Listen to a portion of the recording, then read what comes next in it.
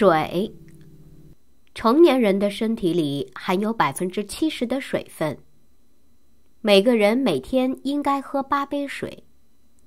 人类可以一周不进食，但是不能三天不喝水。水帮助身体血液循环，保持新陈代谢。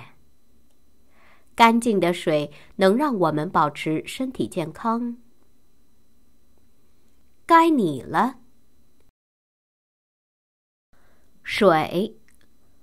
成年人的身体里含有百分之七十的水分。每个人每天应该喝八杯水。人类可以一周不进食，但是不能三天不喝水。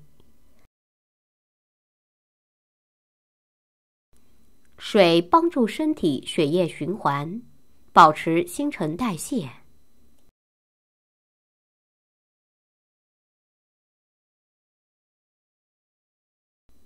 干净的水能让我们保持身体健康。该你了。人体中含有多少水？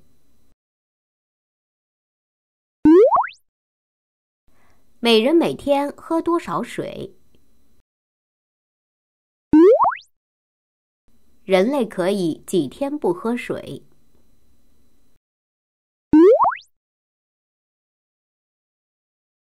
水。成年人的身体里含有百分之七十的水分。每个人每天应该喝八杯水。人类可以一周不进食。但是不能三天不喝水。水帮助身体血液循环，保持新陈代谢。干净的水能让我们保持身体健康。该你了。水。成年人的身体里含有百分之七十的水分。每个人每天应该喝八杯水。人类可以一周不进食，但是不能三天不喝水。水帮助身体血液循环，保持新陈代谢。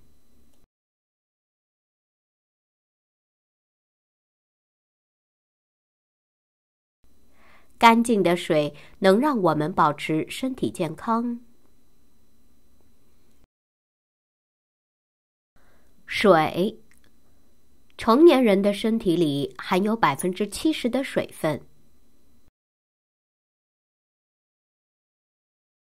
每个人每天应该喝八杯水。人类可以一周不进食。但是不能三天不喝水。水帮助身体血液循环，保持新陈代谢。